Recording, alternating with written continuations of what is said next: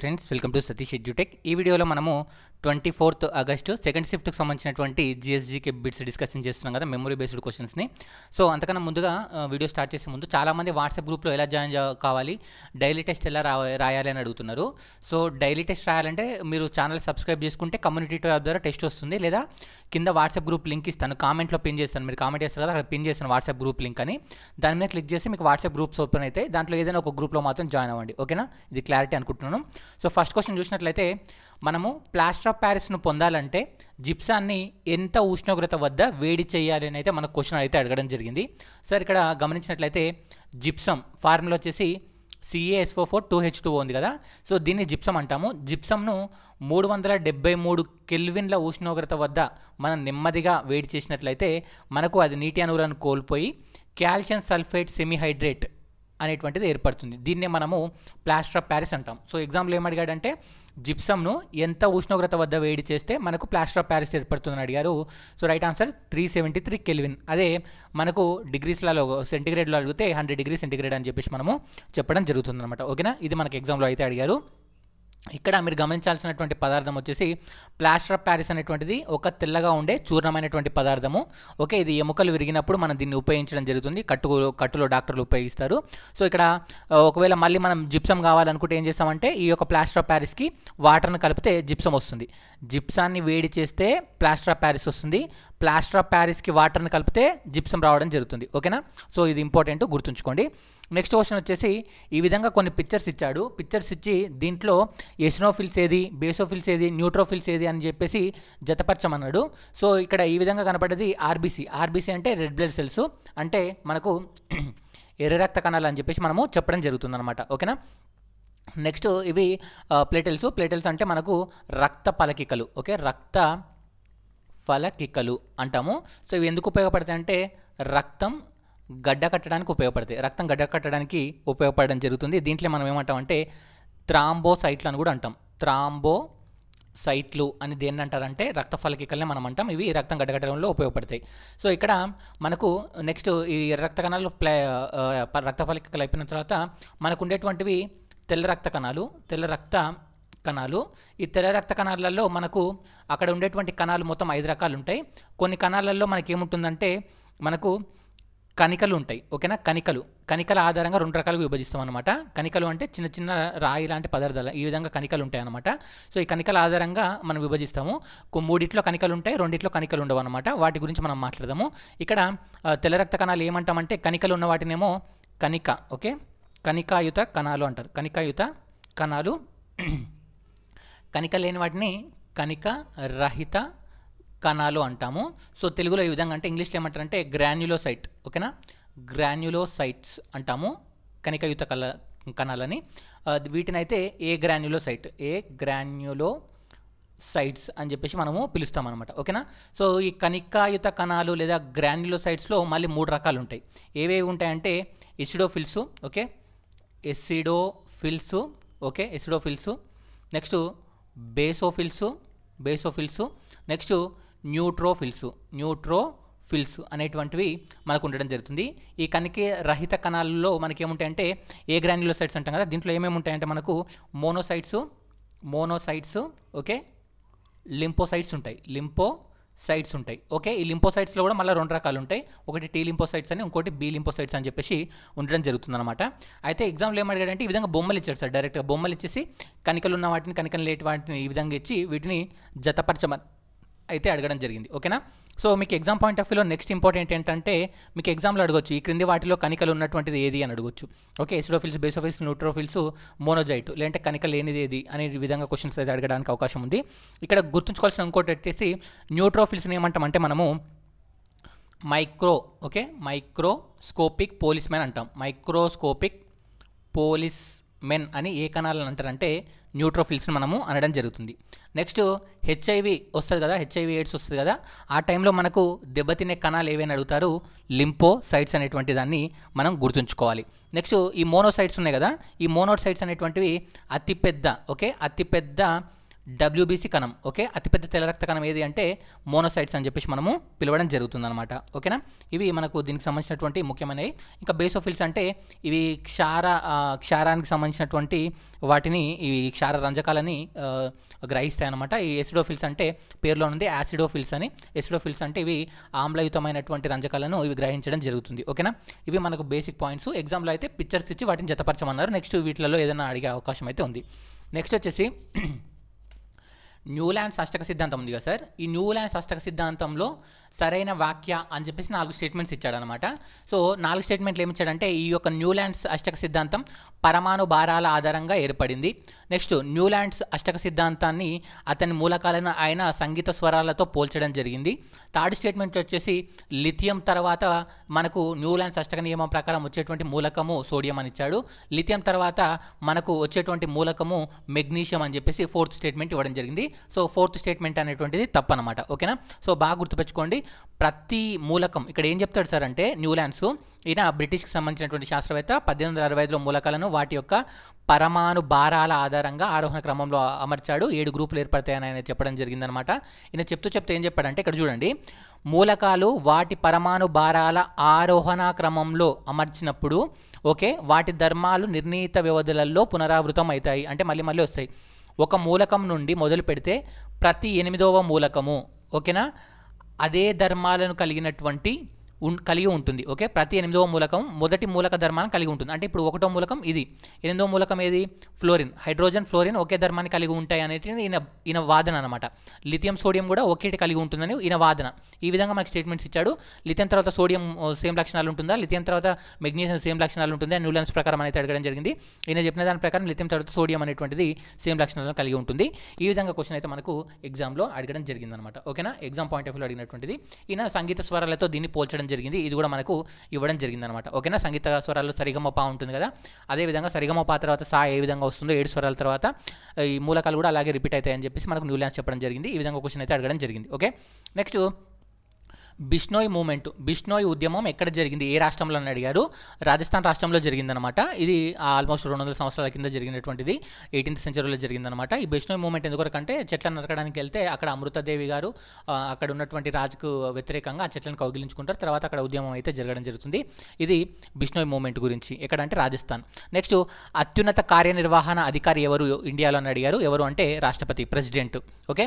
Next భారతదేశంలో గల భాషా విశ్వవిద్యాలయాలు ఎన్ని అని అడిగారు. లాంగ్వేజ్ యూనివర్సిటీస్ ఇండియాలో ఎన్ని ఉన్నాయి అన్నారు. సో ఇండియాలో సిక్స్ లాంగ్వేజ్ యూనివర్సిటీస్ ఉన్నాయి. అవి ఏవేవి అనేటువంటిది ఇక్కడ చూపించాను. దీని స్క్రీన్ షాట్ తీసుకోండి. లాల్ బహదూర్ శాస్త్రి రాష్ట్రీయ సాంస్కృతిక విద్యాపీఠం న్యూఢిల్లీ రాష్ట్రీయ సంస్కృత విద్యాపీఠం తిరుపతి. ఇంగ్లీష్ అండ్ విదేశీ భాషల విశ్వవిద్యాలయం హైదరాబాద్. మహాత్మా గాంధీ అంతర్రాష్ట్రీయ హిందీ విశ్వవిద్యాలయం వార్దా మౌలానా ఆజాద్ నేషనల్ ఉర్దూ యూనివర్సిటీ హైదరాబాద్. రాష్ట్రీయ సాంస్కృతిక సంస్థ న్యూఢిల్లీ ఈ ఆరు కూడా ఇండియాలో ఉన్నటువంటి లాంగ్వేజ్ యూనివర్సిటీస్ అనమాట ఓకేనా? నెక్స్ట్ చూసినట్లయితే ఇందిరాగాంధీ గారు మనకు రూపాయి విలువను తగ్గించిన సంవత్సరం ఏదని అడిగారు. రైట్ ఆన్సర్ వచ్చేసి nineteen sixty six. Okay Indira Gandhi garu మనకు ఎప్పుడు ఈ దీన్ని తగ్గించారు రూపాయి విలువ అంటే nineteen sixty six. Next Fleming కుడిచేయి నిబంధన ప్రకారం చూపుడు వేలు మధ్య వేలు దేని గురించి చూపిస్తుందని అయితే మనకు ఎగ్జామ్లో అడగడం జరిగింది. ఇక్కడ మీకు సింపుల్ రెండు విషయాలు అయితే గుర్తుపెట్టుకోండి. ఫ్లెమింగ్ కుడిచేయి నిబంధన అన్న ఓకే ఎడమ చేయి నిబంధన అన్న ఈ యొక్క చూపించే విధానాలు సేమ్ ఉంటాయి. కాకపోతే ఏంటంటే వీటి డైరెక్షన్ తేడా ఉంటుంది. అంటే తిరిగే విధానంలో తేడా ఉంటుందన్నమాట. ఓకేనా? ఫ్లెమింగ్ కుడి చేయి నిబంధన ఏం చూపిస్తుందో ఎడమ చేయి నిబంధనలో ఉన్నటువంటి వేలు కూడా సేమ్ చూపిస్తాయి ఫర్ సపోజ్ ఇక్కడ చూపుడు వేలు ఉంటుంది మూడిట్లో. మూడిట్లో ఏముండ సారీ కుడి చేయిలో ఎడమ చేయి నిబంధనల్లో చూపుడు వేలు ఓకే మధ్య వేలు నెక్స్ట్ వచ్చేసి బొటన వేలు. చూపుడు వేలు మధ్య వేలు బొటన వేలు అనేటువంటి మూడు ఉంటాయి ఫ్లెమింగ్ నిబంధనలు కుడి చేయలైనా ఎడమ చేయలైనా. సో చూపుడు వేలు ఏం చూపిస్తుందంటే మనకు అయస్కాంత క్షేత్ర దిశను చూపిస్తుంది అయస్కాంత క్షేత్ర దిశను చూపిస్తుంది ఓకేనా? నెక్స్ట్ మధ్య దేని చూపిస్తుందంటే విద్యుత్ కరెంటు ప్రవాహ దిశను చూపిస్తుంది విద్యుత్ ప్రవాహ ప్రవాహ దిశను చూపిస్తుంది ఓకే? బొటనవేలు ఏం చూపిస్తుందంటే వాహకం ఓకేనా? వాహకం యొక్క చలన దిశను చూపిస్తుంది ఓకేనా? కుడి నిబంధనలో అడిగినా ఎడమ నిబంధనలు అడిగినా ఇవి సేమ్ ఉండడం జరుగుతుంది అనమాట కాకపోతే ఇక్కడ తేడా ఏమొస్తుందంటే తిరిగే విధానంలో తేడా ఉంటాయి. సో అది సపరేట్ క్లాస్లో మాట్లాడుకుందాం. సో ఎడమ చేయి నిబంధన మీద పనిచేసేటువంటిది ఏంటంటే విద్యుత్ మోటార్ ఓకే? విద్యుత్ మోటార్ అనేటువంటిది ఫ్లెమింగ్ ఎడమ చేయి నిబంధన మీద పనిచేస్తుంది. అదే ఫ్లెమింగ్ కుడి చేయి నిబంధన మీద పనిచేసేది ఏంటి సార్ అంటే మనకు జనరేటర్ జనరేటర్ లేదా డైనమో ఉంటుంది కదా ఇవి మనకు ఫ్లెమింగ్ కుడి చేయి నిబంధన మీద పనిచేస్తాయి. ఓకే? ఇది గుర్తుపెట్టుకోండి. చూపుడు వేలు మధ్య వేలు బొట్టన వేలు ఇంత ముందుకులో అడిగారు ఎగ్జామ్లో అంటే రీసెంట్గా జరిగిన షిఫ్ట్లోనే అడిగారు గ్రూప్ డీలో ఇప్పుడు కూడా మళ్ళీ అడుగుతున్నారు. నెక్స్ట్ క్వశ్చన్ చూసినట్లయితే కార్బన్ డైఆక్సైడ్ విసర్జక పదార్థంగా విడుదలయ్యేటువంటి క్రియ ఏంటి అని అడిగారు. ఆప్షన్లలో శ్వాసక్రియ కిరణజన్య సంయోగ క్రియ ఆహార శ్వాస శ్వాసక్రియ కిరణజన్య సంభవ క్రియ విసర్జన క్రియ జీర్ణక్రియ ఈ విధంగా ఆప్షన్లు అయితే ఉన్నాయి. సో కార్బన్ డైఆక్సైడ్ విడుదల చేసేది మనమే కాబట్టి ఇది శ్వాసక్రియ అవ్వడం జరుగుతుంది. నెక్స్ట్ ద్రవ్య విధానాన్ని మానిటరీ పాలసీని మనకు రూపొందించేది ఎవరిని అడిగారు? సో ఆర్బీఐ అయితే దీన్ని నిర్వహించడం జరుగుతుంది.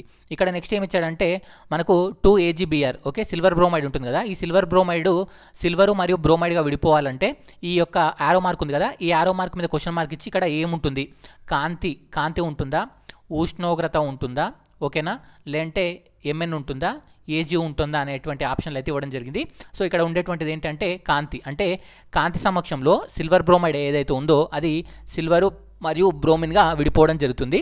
ఓకేనా? సో దీన్ని మనం ఏమంటామంటే కా రసాయన వియోగం అంటాం. రసాయన వియోగం వియోగం అని చెప్పేసి పిలుస్తాము. మీరు ఎయిత్ క్లాస్ టెక్స్ట్ బుక్లో చూసినట్లయితే రసాయన సంయోగం రసాయన వియోగం రసాయన స్థానభ్రంశం రసాయన ద్వంద్వ వియోగం అని నాలుగు ఉంటాయన్నమాట. ఈ నాలుగిట్లో రసాయన వియోగంలో మళ్ళీ మూడు రకాలు ఉంటాయి ఇప్పుడు ఇక్కడ కాంతి ఉంది కదా దీనిపైన. కొన్నిసార్లు కాంతి సమక్షంలో విడిపోతాయి. కొన్ని మూలకాలు. కొన్ని మూలకాలు ఏమో వేడి చేసినప్పుడే విడిపోతాయి అన్నమాట కొన్ని మూలకాలను మనం ఏం చేస్తామంటే ఓ ఉత్ప్రేరకాన్ని ఉపయోగిస్తాం అనమాట ఉత్ప్రేరకం ఉపయోగించినప్పుడు మాత్రమే అవి విడిపోవడం జరుగుతుంది. ఇవి మూడు నాలుగు రకాలు ఉంటాయి. చూసుకోండి. సో దీన్ని ఏమంటామంటే కాంతి రసాయన చర్య అని కూడా మనము పిలవడం జరుగుతుంది అనమాట ఓకేనా? సో నెక్స్ట్ మనకు అడగొచ్చు. సో పసుపు రంగులో ఉండేటువంటి సిల్వర్ బ్రోమైడ్ ఏ కలర్లోకి మారుతుందంటే బూడిద రంగులోకి మనకు మారడం జరుగుతుందన్నమాట. ఓకేనా? నెక్స్ట్ క్వశ్చన్ చూసినట్లయితే బుద్ధునికి జ్ఞానోదయం జరిగిన ప్రదేశము. సో బుద్ధునికి ఎక్కడ ఎన్లైట్మెంట్ అయ్యిందని అడుగుతారు. ఎక్కడంటే బోధ్గాయలో అయ్యిందనమాట ఓకేనా? నెక్స్ట్ ఆపరేషన్ సముద్ర సేతు గురించి అని అడిగారని నాకు కొంతమంది చెప్పారు. కొంతమంది అడగలేదన్నారు. రాసిన వాళ్ళు నాకు క్లారిటీ అయితే చేయండి. Operation Samudra Setu ఎందుకొరకంటే Covid nineteen ఉంది కదా. కోవిడ్ నైన్టీన్ టైంలో మన ఇండియాకి ఆక్సిజన్ తీసుకురావడానికి ఇతర దేశాలకు వేగంగా మనం రవాణా చేయడం కొరకు ఈ యొక్క ఆపరేషన్ సముద్ర సేతు అనేటువంటిది ఇండియన్ నేవీ అనేటువంటిది స్టార్ట్ చేసింది. నెక్స్ట్ గోల్డ్ లోన్ ఇచ్చేటువంటి స్మాల్ ఫైనాన్స్ కంపెనీ ఏది అని అడిగారు. ఏది అంటే ముతుడ్ ఫైనాన్స్ అయితే ఆన్సర్లో ఉంది. అదే ఆన్సర్ అవుతుంది. నెక్స్ట్ వక్రీభవన గుణక విలువ వక్రీభవన గుణకం విలువ ఎల్లప్పుడు ఎలా ఉంటుందని అడిగారు. సో ఇది ఎల్లప్పుడు కూడా ఒకటి కంటే ఎక్కువగా ఉంటుంది. ఒకటి కంటే ఎక్కువగా ఇది వక్రీభవన గుణకం విలువ ఉండడం జరుగుతుందన్నమాట. ఓకేనా? నెక్స్ట్ చూసినట్లయితే శ్వాసక్రియలో ఉపయోగపడేటువంటి కణాలు ఏంటి అని కొంతమంది చెప్పారు. కొంతమంది ఏమన్నారంటే శ్వాసక్రియలో రంజకం ఉండేటువంటి అంటే శ్వాస వర్ణకం ఉండేటువంటి కణాలు ఏమిటి అనేటువంటి క్వశ్చన్ అయితే అడిగారని అయితే చెప్పడం జరిగింది. ఓవరాల్గా శ్వాసక్రియకు ఉపయోగపడేటువంటివి లేదా మనకు ఏమంటారు శ్వాసక్రియలో వర్ణకం ఉన్నటువంటి కణాలు ఏవి అంటే శ్వాసక్రియ వర్ణకం ఉన్నటువంటి పదార్థాలు ఏవి అంటే ఎర్రక్త కణాలు హిమోగ్లోబిన్ ఎర్రక్త కణాల్లో మాత్రమే మనకు ఉండడం జరుగుతుందన్నమాట. ఓకేనా? నెక్స్ట్ ప్రాథమిక విధులలో పదకొండవ విధిని మనకు ఏ సంవత్సరంలో చేర్చారని అడిగారు? సో ప్రాథమిక విధులలో పదకొండవ విధిని ఎప్పుడు చేర్చారంటే రెండు వేల రెండులో చేర్చారనమాట సో ఈ రెండు వేల రెండులో చేర్చారు ఓకేనా? ఈ ఇక్కడ ఎన్నో రాజ్యాంగ సవరణ ద్వారా అని అడుగుతారు. ఎనభై ఆరవ రాజ్యాంగ సవరణ ద్వారా దీన్ని చేర్చడం జరిగింది. అసలుకి పా ప్రాథమిక విధులలో పదకొండవ విధి ఏం చెప్తుందంటే ఆరు నుంచి పద్నాలుగు సంవత్సరాల్లో పిల్లలు ఎవరైతే ఉన్నారో వాళ్ళందరినీ స్కూల్కి పంపించడం వాళ్ళ తల్లిదండ్రుల యొక్క విధి బాధ్యత అనేటువంటి దాని గురించి ఈ యొక్క పదకొండవ విధి అనేటువంటి చెప్తుంది. ప్రాథమిక విధులు మనకు ఫిఫ్టీ వన్ ఏలో ఉంటాయి అనేటువంటి అంశం మీకు ఆల్రెడీ తెలిసింది ఫోర్ ఏ ఫోర్త్ భాగంలో ఓకే? నెక్స్ట్ ఏ సంవత్సరం నుంచి ఫిబ్రవరి ఫస్ట్న మనకు భారత బడ్జెట్ ప్రవేశపెడుతున్నానని అడిగారు. రెండు వేల పదిహేడు నుంచి ఇది ప్రవేశపెట్టడం జరుగుతుంది. నెక్స్ట్ వాయుగత కాండాలు కలిగినటువంటి మొక్క ఏదని అడిగారు. గుర్రపు డెక్క మొక్క అనేటువంటిది ఆప్షన్లో ఉంది. అది రైట్ ఆన్సర్ అవ్వడం జరుగుతుంది. నెక్స్ట్ నాట్యాంజలి డ్యాన్స్ ఫెస్టివల్ ఉంటుంది కదా అది ఏ రోజున నిర్వహించుకుంటాం? అంటే ఏ పండుగ లేదా ఏ రోజున నిర్వహించుకుంటాం? ఏ ఫేమస్ పండుగ రోజు నిర్వహించుకుంటామని అడిగారు. మహాశివరాత్రి రోజు ఈ యొక్క నాట్యాంజలి డ్యాన్స్ ఫెస్టివల్ అనేటువంటి దాన్ని నిర్వహించుకోవడం జరుగుతుంది. ఎక్కడంటే తమిళనాడులోని నటరాజ టెంపుల్లో చిదంబరంలో ఇది జరగడం జరుగుతుంది అనమాట శివరాత్రి రోజు నిర్వహించుకుంటాం. ఓకే? నెక్స్ట్ ఒక క్వశ్చన్ ఏం అడిగారంటే వింటర్ ఒలింపిక్స్ ఉంటాయి కదా వింటర్ ఒలింపిక్స్ రెండు వేల ఇరవై రెండులో ఇండియా తరపు నుంచి పాల్గొన్న ఏకైక పర్సన్ ఎవరు అనేటువంటి దాని గురించి అయితే బిట్టి అడిగాడు అన్నారు సో ఆరిఫ్ మొహమ్మద్ ఖాన్ గారు ఇండియా నుంచి పాల్గొన్న ఏకైక పర్సన్ అనమాట సో ఈయన సలోమ్ ఓకేనా? సలోమ్ అనేటువంటి గేమ్లో పాల్గొనడం జరిగింది. ఓకే? సలోమ్ అంటే మనకు ఈ ఐస్ స్కేటింగ్ లాగా ఉంటుంది. ఓకేనా? ఐస్ ఐస్ స్కేటింగ్ లాగా ఉంటుంది ఇది. ఓకేనా? Next Khelo India youth games two thousand twenty వన్లో జరిగాయి కదా. ఆ దానిలో ఫస్ట్ ప్లేస్లో ఉన్నటువంటి రాష్ట్రం ఏదని అడిగారు. టాప్లో వచ్చినటువంటి రాష్ట్రం వచ్చేసి Haryana. Next X chromosome Y chromosome గురించి క్రింది వాటిలో సరైన వాక్యాన్ని ఎక్స్ కంటే వై చిన్నగా ఉంటుంది. ఎక్స్ కంటే వై పెద్దగా ఉంటుంది. ఎక్స్ క్రోమోజోము వై క్రోమోజోమ్ సమానంగా ఉంటాయి. ఏది కాదు. ఈ విధంగా ఆప్షన్స్ అయితే ఇచ్చాడు సో రైట్ ఆన్సర్ వచ్చేసి మనకు వై క్రోమోజోమ్ అనేటువంటిది ఎక్స్ క్రోమోజోమ్ కంటే చిన్నగా ఉంటుందన్నమాట. ఓకేనా? వై అనేది ఎక్స్ క్రోమోజోమ్ కన్నా చిన్నగా ఉంటుంది. వన్ బై థర్డ్ చిన్నగా ఉండడం జరుగుతుంది అనమాట ఓకే? ఈ క్వశ్చన్ అయితే అడిగారు. నెక్స్ట్ ఓమ్ని నియమం పంపిన క్వశ్చన్ అడిగారు. వోల్టేజు కరెంట్ ఇచ్చేసి రెసిస్టెన్స్ ఎంత అని అడిగారు. ఓకేనా వోల్టేజు మనకు కరెంట్ ఇచ్చేసి రెసిస్టెన్స్ ఎంత అని అడిగారు. ఆల్రెడీ సెవెంత్ వీడియో ఫిజిక్స్ న్యూమరికల్స్లో సెవెంత్ వీడియో చూడని వాళ్ళు ఉంటే చూడండి. తప్పనిసరిగా ఒక బిట్ వస్తుంది. దాన్ని కామెంట్లో నేను పించేస్తాను ఓకేనా నెక్స్ట్ క్వశ్చన్ ఏం అడిగారంటే ఇదే సెవెంత్ వీడియోలో నేను ఆల్రెడీ ఇంకొక మోడల్ చెప్పాను. ఏమని చెప్పానంటే సామర్థ్యం ఇస్తాడు ఓకేనా? సామర్థ్యాన్ని కనుక్కోమంటాడు. ఎప్పుడు మనకు విద్యుత్ విలువ ఇచ్చి సామర్థ్యాన్ని కనుక్కోమంటాడు. దీనిపైన కూడా నేను ఆల్రెడీ చెప్పాను. ఒకసారి చూడండి ఓకేనా? నెక్స్ట్ మనకు గాంధీజీ గారు పంతొమ్మిది వందల పంతొమ్మిదిలో వచ్చినటువంటి ఏ చట్టానికి వ్యతిరేకంగా ఆయన ఉద్యమించాడు అని అడిగారు సో పంతొమ్మిది వందల పంతొమ్మిదిలో వచ్చినటువంటి రౌలత్ చట్టం ఉంది కదా దీనికి వ్యతిరేకంగా మనకు నాన్ కోఆపరేషన్ మూమెంట్ అనేటువంటి దాన్ని నైన్టీన్ ట్వంటీ ఆ టైంలో గాంధీజీ గారు స్టార్ట్ చేయడం జరిగింది. ఓకేనా? ఈ బిట్ అయితే అడగ అడగడం జరిగింది. రౌలత్ యాక్ట్కు అగెనిస్ట్గా మహాత్మా గాంధీ గారు ఇక్కడ ఉద్యమం చేశారనేటువంటి దానిపైన బిట్ అయితే అడిగారు. నెక్స్ట్ ట్రాన్స్మిషన్ లైన్స్ ఉంటాయి కదా అంటే కరెంటులో ఒక ఒక దగ్గర నుంచి ఒక దానికి మనం పెద్ద పెద్ద లైన్స్లో తీసుకుపోతాం కదా అక్కడ వాడేటువంటి తీగ ఏంటి అని అడిగారు మెటీరియల్. అక్కడ కాపర్ అల్యూమినియం స్టీల్ వాడతాము. ఉన్న ఆన్సర్లలో కాపర్ ఉంటే ఫస్ట్ ప్రియారిటీ కాపర్కి ఇవ్వాలి కాపర్ లేకపోతే అల్యూమినియంకి ఇవ్వాలి అల్యూమినియం లేకపోతే స్టీల్కి అనేటువంటి దానికి మనము ప్రియారిటీ అయితే ఇవ్వడం జరుగుతుంది అనమాట నెక్స్ట్ ఈ యొక్క ఈఎస్ఓ ఫోర్ శాటిలైట్ని మనకు ఫిబ్రవరిలో లాంచ్ చేశారు కదా రెండు వేల ఇరవై రెండు ఫిబ్రవరిలో లాంచ్ చేశారు కదా దాన్ని ఏ వాహక నౌక ద్వారా తీసుకెళ్ళారని అడిగారు. పిఎస్ఎల్వి సి ఫిఫ్టీ టూ అనేటువంటి వాహక నౌక ద్వారా దీన్ని తీసుకెళ్ళడం జరిగిందనమాట. Okay? Polar satellite launch vehicle PSLV అంటే. Next world wetland wetlands day యొక్క థీమ్ ఏంటని అడిగారు. చిత్తడి నెలలు అంటాం కదా world wetland wet lands day ఇది ఫిబ్రవరి సెకండ్ నిర్వహించుకుంటాం. దీని థీమ్ వచ్చేసి wetlands action for the people and nature అనేటువంటి దీని యొక్క థీమ్. ఓకే థీమ్ ఇది. నెక్స్ట్ మహేంద్రగిరి హిల్స్ అనేటువంటిది ఎక్కడ ఉందని అడిగారు? ఎక్కడ అంటే ఒడిశా రాష్ట్రంలో ఉండడం జరిగింది. నెక్స్ట్ కోల్కతా మున్సిపల్ కార్పొరేషన్ ఎప్పుడు ఏర్పడ్డదని అడిగారు? పద్దెనిమిది వందల డెబ్బై ఆరు. ఓకే? సో నెక్స్ట్ ఇక్కడ కెమికల్ని బ్యాలెన్స్ చేయమన్నాడు. నేను ఆల్రెడీ ఫోర్ ఫైవ్ డేస్ కింద ఒక వీడియో చేశాను. ఏమని చర్య సమీకరణాలను ఎలా తుల్యం చేయాలని దానిపైన వీడియో చూడని వాళ్ళు ఉంటే కామెంట్లో పిన్ చేసిన ఆ వీడియో కూడా ఒకసారి చూడండి. So N two H two two NH three అనేటువంటి దాన్ని ఇచ్చారు. సో దీన్ని ఎలా బ్యాలెన్స్ చేయాలనేటువంటిది నేను ఆల్రెడీ చెప్పాను కాబట్టి ఆ వీడియో అయితే ఒకసారి చూడండి. కొంతమంది ఏం చెప్పారంటే నయాగ్రా ఫాల్స్ ఏ రెండు దేశాల మధ్య ఉన్నాయని అడిగారు అని అన్నారు. కొంతమంది అయితే అడగలేదన్నారు. ఇది క్లారిటీ అయితే ఇవ్వండి ఇది చెప్తున్నా జస్ట్ ఇన్ఫర్మేషన్ కొరకు. చాలామంది అయితే అడగలేదన్నారు. కాకపోతే క్లారిటీ కొరకు ఒక అబ్బాయి చెప్పాడు కాబట్టి మళ్ళీ చెప్తున్నా మీకు. నయగర ఫాల్స్ అనేటువంటిది అమెరికాకి కెనడాకి మధ్య ఉంటాయి అనమాట నెక్స్ట్ సింధునేత్ర శాటిలైట్ గురించి అని కొంతమంది అన్నారు. సో సింధునేత్ర శాటిలైట్ని తీసుకెళ్ళింది అయితే పిఎస్ఎల్వి సి ఫిఫ్టీన్. ఇది కూడా అడిగాడు లేదా క్లారిటీ ఇవ్వండి. నెక్స్ట్ సౌత్ అమెరికాలో ఉన్నటువంటి భూ పరివేష్టిత రాష్ట్ర దేశాలు ఏవైనా అడిగారన్నారు. సో సౌత్ అమెరికాలో ఉన్నటువంటి బొలివియా పెరుగోయ్ ఈ రెండు కూడా మనకు ఏమంటారు భూ పరివేష్టిత దేశాలు అనమాట నెక్స్ట్ ఇంకో క్వశ్చన్ ఏం అడిగారంటే ఇది ప్రధాన అక్షం ఉంటుంది కదా. ఇది ఒకవేళ మనం పుటాకార దర్పణం అనుకున్నట్లయితే ఇది ప్రధాన అక్షం అనుకుంటే ఓకేనా? సో ఇక్కడ కాంతి కిరణాలు ఈ విధంగా వచ్చిన తర్వాత ఈ విధంగా రిఫ్లెక్ట్ అవుతుంటాయి ఓకేనా? రిఫ్లెక్ట్ అవుతుంటాయి. ఈ విధంగా రిఫ్లెక్ట్ అయినప్పుడు ఇక్కడ మనకు నాభి ఏర్పడుతుంది కదా. సో ఈ నాభి ఏర్పడక ముందు ఈ విధంగా కాంతి ఇక్కడ రిఫ్లెక్ట్ అవుతుంది కదా. అంటే కాంతి ఈ విధంగా నాభి దగ్గరికి చేరడానికి జరిగేటువంటి ఇక్కడ జరిగే ప్రక్రియ ఏంటి అని అడిగాడు. సో ఇక్కడ ఏం జరుగుతుంది? మనకు పరావర్తన ప్రక్రియ జరుగుతుంది. అంటే ఇక్కడ ఏమిచ్చాడంటే ఆప్షన్లో పరావర్తనం వక్రీభవనం వివర్తనం ఈ విధంగా ఆప్షన్లు ఇచ్చాడు. సో కాంతి ఈ దర్పణం మీద పడి పరావర్తనం చెందడం వల్లనే ఇక్కడ నాభి దగ్గర మనకు ఫోకల్ పాయింట్ అనేటువంటిది ఏర్పడడం జరుగుతుంది అనమాట ఓకే? ఈ క్వశ్చన్ మనకు అడగడం జరిగింది. నెక్స్ట్ క్వశ్చన్ ఇంకోటి ఏం అడగడం జరిగిందంటే ఈరోజు గురువారం అనుకోండి. ఈరోజు గురువారం అనుకోండి. అయితే సెవెంటీ ఫైవ్ డేస్ తర్వాత ఏ వారం అవుతుంది? ఈ విధంగా ఒక క్వశ్చన్ అయితే అడగడం జరిగింది. క్లాక్స్ నుంచి ఎలాంటి క్వశ్చన్ అడగలేదు. బ్లడ్ రిలేషన్స్ ఉంటాయి కదా బ్లడ్ రిలేషన్స్ ఈ బ్లడ్ రిలేషన్స్ నుంచి కూడా ఎలాంటి క్వశ్చన్ అడగలేదు. సిట్టింగ్ అరేంజ్మెంట్ నుంచి ఆరు క్వశ్చన్స్ అయితే అడగడం జరిగింది. బాడ్మస్ నుంచి రెండు నుంచి మూడు క్వశ్చన్స్ అయితే అడగడం జరిగిందని చెప్పారు. టైమ్ అండ్ వర్క్ నుంచి ఒకటి లేదా రెండు క్వశ్చన్స్ అయితే అడగడం జరిగింది. సింపుల్ ఇంట్రెస్ట్ అయితే నార్మల్ లెక్కనే అడిగారు. ట్రిగ్నామెంటరీ నుంచి కూడా వన్ లెక్క అయితే అడిగారు. ఎలా అడిగారంటే one minus sine theta by one plus sine theta equal to ఎంత అనేటువంటి ఈ విధంగా ఒక మోడల్ అయితే మనకు క్వశ్చన్ అయితే అడగడం జరిగిందని అయితే చెప్పడం జరిగిందనమాట. నెక్స్ట్ చూసినట్లయితే మనకి ఇంకా అడిగినటువంటి క్వశ్చన్లు మనం ఒకసారి మాట్లాడుకున్నట్లయితే ఇక్కడ ఆ ఆపరేషన్ సముద్ర సేతు గురించి అంటే బ్లూ ఎకానమీని పెంపొందించడం కొరకు తీసుకొచ్చినటువంటి ప్రాజెక్ట్ ఏంటి అనేటువంటిది అడిగారని కొంతమంది అన్నారు.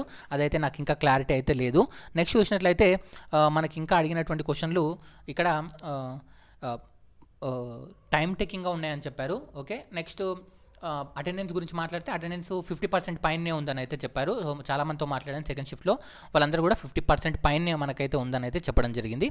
And Kolkata corporation eighteen seventy six ఆప్షన్లో కొంతమంది లేదన్నారు. సెవెంటీన్ ట్వంటీ సిక్స్ ఉందన్నారు. ఇదైతే క్లారిటీ లేదు. ఒకసారి అయితే మీరు కూడా చెక్ చేసుకోండి దీన్ని. అండ్ ఇది వీడియోలో. వీడియో నచ్చినట్లయితే లైక్ చేయండి.